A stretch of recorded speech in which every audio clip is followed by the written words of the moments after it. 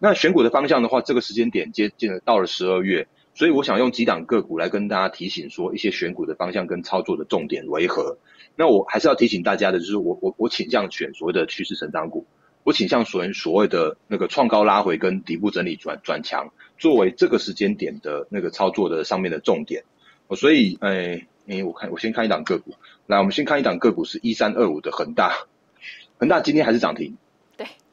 那可是它就不会是我，嗯，可是它就不会是我的选股的，呃，它就不会是我的选股的方向哦。我先讲清楚，说明白一件事情是，呃，如果之之前我们看我们节目的话，我常常跟大家提醒说，恒大它就是属于一个短线上面的题材。那之前我说那个前景不看好，就算它礼拜五或者像今天依然涨停，我还是一样维持我的讲法。就是我维持我的看法没有改变，因为它从呃七月十五号除息十二元的那个时间点来看到的话，它有超高的值利率，有十三趴的值利率。可是如果从那个时间点到现在为止的话，大家那个如果真的有因为所谓的高值率的题材，然后去进场去做买进的话，到这个时间点，相信都还是所谓的赚到股息，可是赔了差价的这样子一个现象。所以因为它是一个景气循环股，因为景气循环股必须要看报价，或者是说呢？它在它在营收跟获利最好的时候，反而是你必须要去做留意，因为它很有可能在那个时间点去做反转向下的这样子一个趋势。哦，所以如果我们看它今年的获利来说的话，它的今年第一季到第三季的 EPS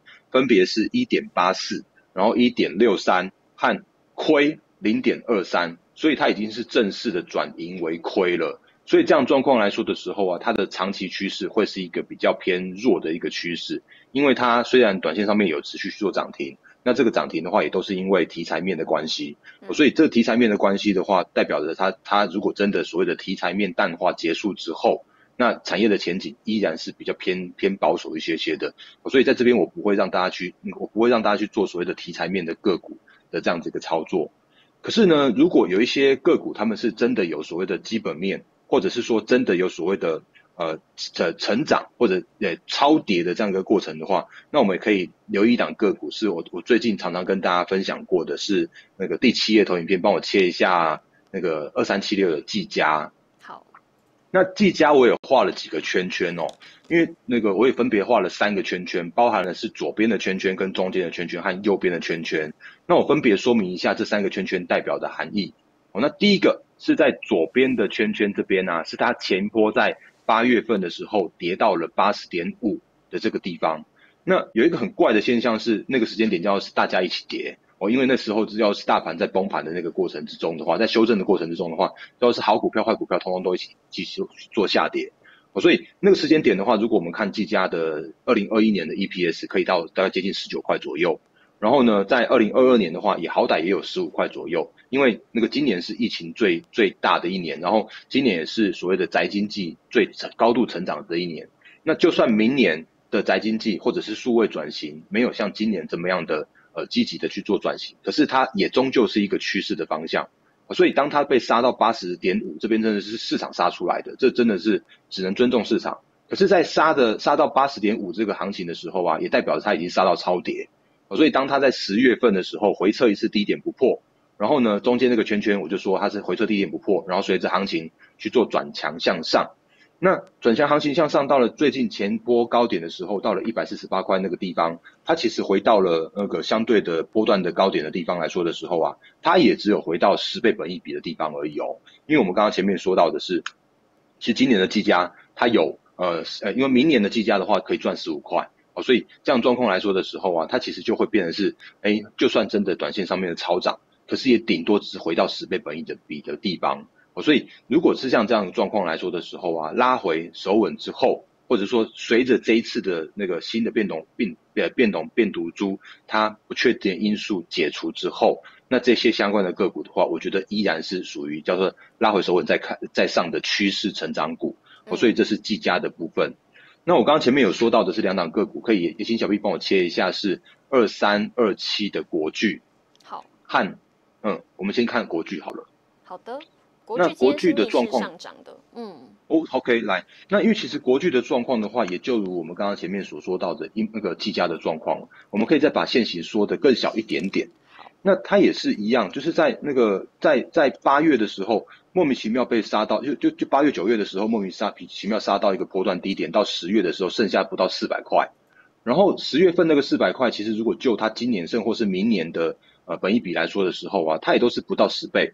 哦，因为它如果是今年呃今年大概可以赚五十块，然后因为它并了齐力新，所以明年的话至少也会是呃五十五块以上的 EPS。可是也是跌到了那个不到十倍的本益比的地方，所以可以看到它十月份的时候啊，跌到了不到四百块，然后十一月份的时候回撤低点不破，然后呢短那个短线上面又重新回到了月线和季线之上，然后让它这个短线上面行情就有点像是转底部整理转强的这样子一个模式，所以这个时间点真的还蛮多的个股是属于超跌之后，然后底部渐渐去做垫档，就垫垫渐呃渐渐垫高的这样一个走势哦。那另外的话也可以帮我切一下二三零八的台达电。因为台达电它也是一个很苦命的台达电，因为我常常讲一些个股，他们明明明基本面都很好，可是呢，那个都是因为其他的原因造成它的短线上面的大跌。那台达电的原因是因为它抢料抢输人哦，因为最近大家都在抢那个车用电子的料，所以台达电它是一个比较稳健一点的，或者说呃，当然可以可以去 Google 一下它的这个，就是它一些前一阵子的新闻。他们也说，他们都亲自去欧洲那边去做固料、去做抢料了，可是还是真的是抢输，因为这时间点真的受到一些车用电子的关系，所以有一些那个就是料源被排挤。那所以这样状况来说的时候，也可以可以看到台大电的那个呃，真的基本面很好，所以它也是在十月份破了低点之后啊，然后有渐渐的去做盘底、去做打底、去做转强向上，然后今天的话也可以看到它是上涨了一 percent，接近一 percent，然后上涨了二点五元。所以这都是现在目前大家可以留意到的一个方向，就是那个有一些很好的个股，然后有一些超跌的股票，然后那个当他们在底部整理去做转强向上的时候啊，这个是可以留意的一个很重要的方向了。像是四星 KY，就是原本 IP 都是不错的个股，可是如果你看一下这种现形的话，会发现一件事情是，哎，好像真的有人真的是提早提早知道一些。呃，我们不知道的事情，那比方说像是事情，嗯，是啊，那像十一月的十一月中的时候，世信 KY 一度创高到一千三百多块，然后可是它就连续接连不断的黑 K 黑 K 黑 K 黑 K，然后跌破了月线，然后又又这样的一个回档的过程，然后结果莫名其妙就突突然出现了一个新闻，说那个美国那边又把那个就是有一些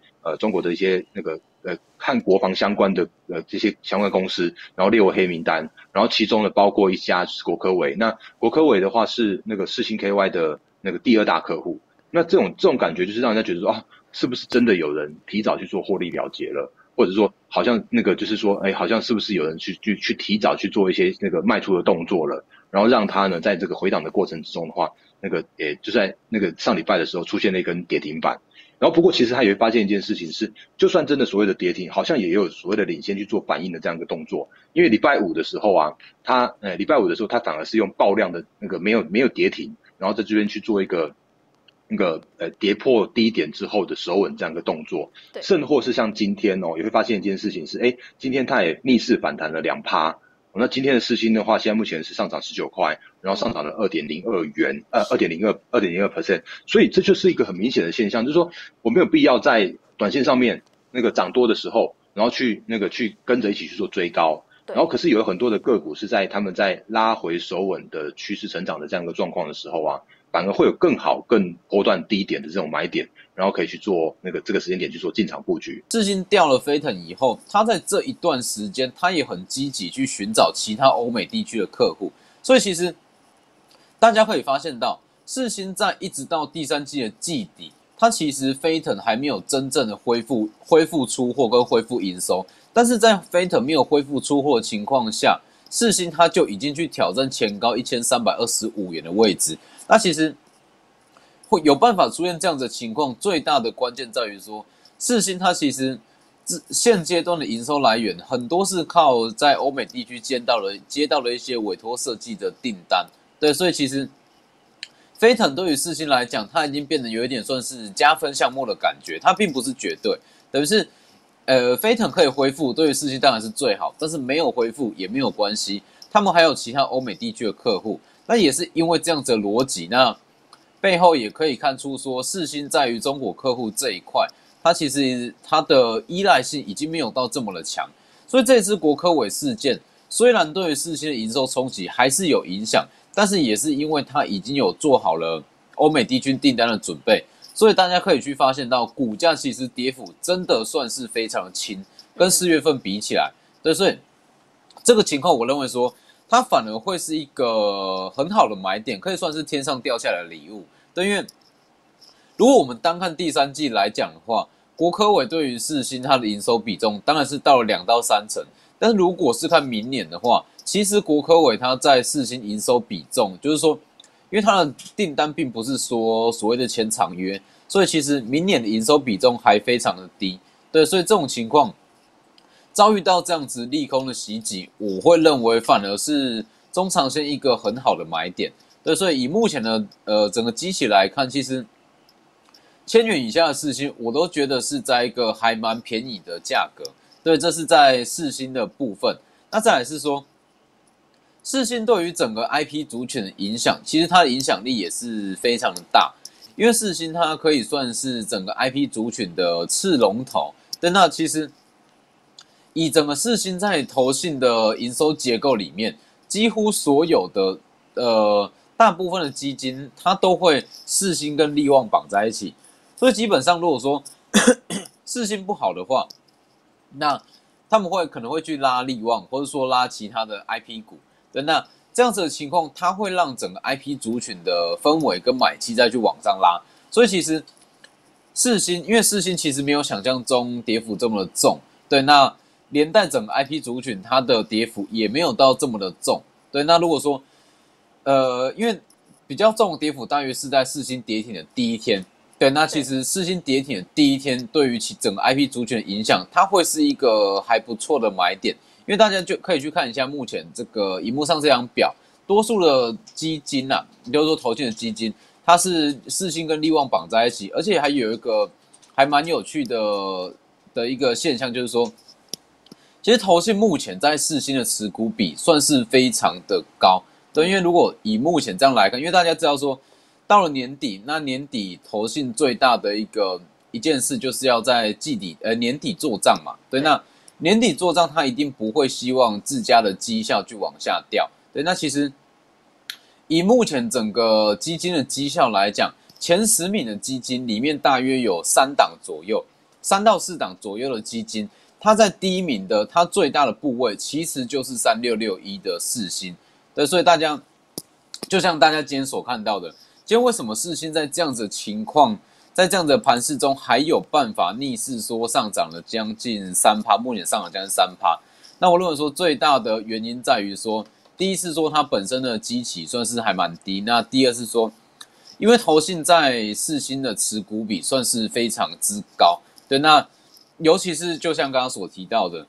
呃，目前算是绩效在前段班的一些基金，那它的持股比都很高。那这样子的情况，他不希望在年底就剩大约是一个月的时间，他不希望在这么关键的时间点，整个绩效往下掉，所以他一定不会去卖四星，那甚至会呃用一些其他的办法，那去拉抬四星，那大家才会发现这样子的情况。那就像刚刚所讲的，因为大部分的基金四星跟利旺它都会绑在一起，所以其实四星强，那利旺就也会跟着强。那如果说四星没有像今天这么强的话，其实它反而还呃会有更多的资金拉下去拉抬利旺的股价，所以大家可以发现到今天就是利旺跟四星这两档就是特别的强。对，那我觉得说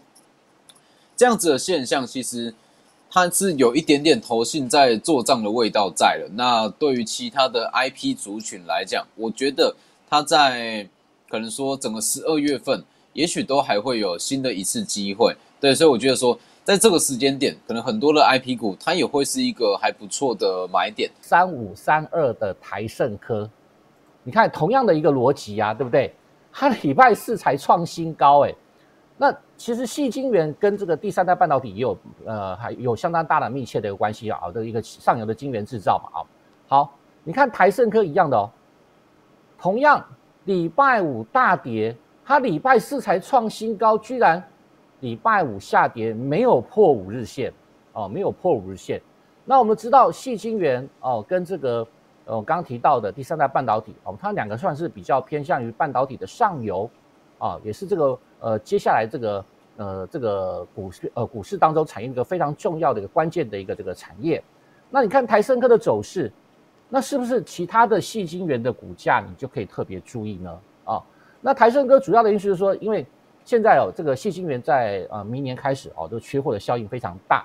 那加上啊，它搭配啊，搭配这个台积电啊，到南科设厂，那未来呢，在十二寸晶圆的部分啊，需求都会非常的强劲。好，那像这几档股票啊，这这是这是几个呃，我认为大家要去观察的指标，不是说你要去追价哦，或者去买进。那就比如说一个就是第三代半导体嘛，对不对？那一个就是细晶圆嘛。好，那还有没有可以同样哦一个族群当中大家可以注意的呢？我们再看一档哦，大家看一下。六一八二的合金哦，哦，这档也是相当的强势哦，哦，相当的强势。你看它的股价，你看它股价啊，大家发现它在一样哦，在上个礼拜四哦，上个礼拜四股价创下了也是挂牌来的新高哦，挂牌来的新高。然后更重要什么？然后我想很多投资朋友会觉得说啊，最近这个。呃，这个股市不太稳了哦，一下这个疫情啊，一下这个什么通膨的一个问题呀。好，那在这种时候，我常常跟给投资朋友建议哦，如果你在这个时候觉得很害怕啊，但是你又怕错过反弹行情，对不对？那你怕这个台股反弹，你又这个这个没有赚到，那但是你又担心说股票跌哦，你的这个万一你买到这个。呃，这个这个跟着大盘这个一起下跌的弱势股啊，怎么办？那我认为投资方你就可以注意六一八二的合金哦。为什么要特别可以注意它？我们常讲哦，一档股票它它它能够呃逆呃它能够逆势上涨啊，或者是能够抗跌，一定有人在照顾啊。那我刚刚讲了，台盛科呢是这个细晶圆的这个一个指标，但是哦，合金呢，哎，它就是。有人照顾的指标，为什么它是有人照顾的指标？大家看一下下面这个地方，你看一下下面这个地方，哦，呃，这个合金的下面，你看，这在上个礼拜啊，上个礼拜五个交易日啊，你看这个投信连续的买超啊，连续的买超，而且上个礼拜五在台股大跌的时候，投信是这个合金是这个投信买超的第一名哦。而且股价没有破五日线，五日线还在上扬，这就是强势的一个个股。那同样的一个逻辑啦啊，同样的逻辑就是我之前跟大家讲的，呃，合金呢，哦，主要的原因就是在于这个，呃，现在哦，八寸啊，八寸的细晶圆的部分啊，八寸细晶圆的部分呢，居然哦比十二寸晶圆还要再吃紧啊，供需还要再吃紧。那八寸的部分呢，现在都是这个去这个去瓶颈化的一个扩展啊，所以说，呃，增加的产能有限啊，所以使八寸的供给更为吃紧，所以它明年呢，这个八寸的细晶圆的价格哦，可能还要再涨十到二十 percent 啊。那合金呢，主要是以现货市场为主啊，所以它会这个受惠它的这个涨价。那因为这个需求的这个需下游需求非常的强劲啊，所以，呃，现在为了要确保它的产能哦。呃，很多客户都签了长约啊，所以预期呢，明年长约的比重呢将会提升到二十个 percent 左右啊。那你看它的股价，我们刚刚有提到了啊，呃，上个礼拜呢这个呃大涨创新高之后啊，那礼拜五的拉回，哎，居然投信居然趁拉回的时候这个地方加码，而且大家不要忘了，当天台股是大跌的啊，所以呃在逆势啊逆势这个。加码的个股哦，台股逆势加码的个股哦，大家就可以特别的一个注意。在这样子的盘势下，算是市场有两股力道啊。说好有一些要做短线操作，那有一些是希望把一些获利持股说获利了结。那以大方向来看，我会觉得说变种病毒这个东西，它对于整个股市的影响，不管怎么样，它都会是先下后上。对，那只是说可能说形式跟一些周期的不同，因为主要大方向是这样。这个变种病毒它可能会出现两两种情况。那第一种情况就是说，变种病毒它如果说真的如像是市场目前所说，它的传染力这么强的话，它会让整个疫情恶化。那整个疫情恶化的话，其实会让整个联储会，联储会它会把它原本，因为它目前已经在实施缩表了嘛，已经开始在减码购债，它会把这一项减码购债的呃的事件，它可能会紧急喊卡。那甚至说，把一些已经结束、已经退场的财政政策都重新再进场，那甚至说在预计升息的时间也会再往后延。所以如果说这次变种病毒它真的有这么严重的话，有机会再从以股市来讲，它有机会再重演上半年的一个资金行情。所以这其实它就是会呈现先下后上。那如果说呃这次变种病毒它没有像外界想象的这么强，它影响力其实很小的话，它就等于是说整个股市又回到原本的状态嘛。那目前台股跟美股。大方向的情况大概是都是呈现一个算是呃比较温和的经济成长，等于说它在这个时间点不冷也不热。那以目前的订单状况来看，其实不管是台股还是美股，在明年二零二二年它的一个经济成长率，那都会高于大市场比较担心的通膨率。所以基本上，如果说